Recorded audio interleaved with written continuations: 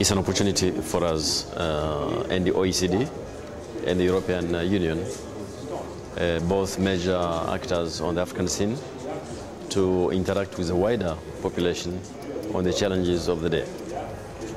Now, we have uh, chosen to talk about skills because the modern economy is based on knowledge. The modern economy is not based on raw materials. If your subsoil is rich in raw materials, it is helpful. But what makes economic transformation is knowledge and skills.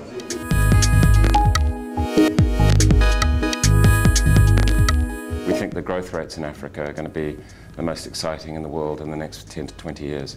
So it's really, for us, we think it's a fantastic opportunity. We think what's happening in Africa now is very similar to the takeoff you saw in Southeast Asia in the 50s and 60s.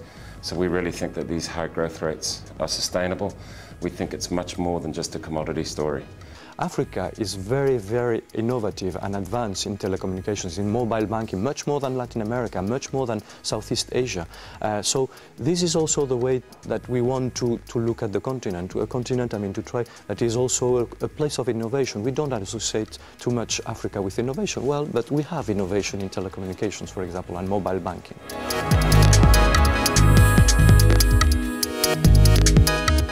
Biggest challenge Africa faces now is infrastructure. Infrastructure is actually getting worse, it's not getting better.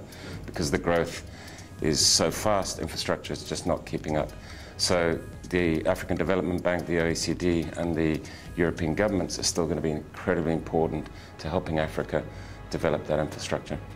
It's vitally important uh, that we do invest in infrastructure, and in fact, uh, through the new Partnership for Africa's Development, uh, the leaders of Africa have determined that for the next 15 years, a major part of our national investments will be directed toward enhancing infrastructure for trade purposes, but also for development.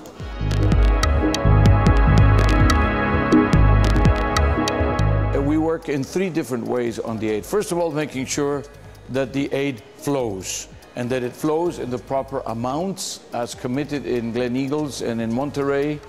Um, second, that we create more predictability in terms of the flows of aid, that we can program and plan the aid, which helps the recipient countries to plan their investments, but also in the aid effectiveness. Aid effectiveness is absolutely critical.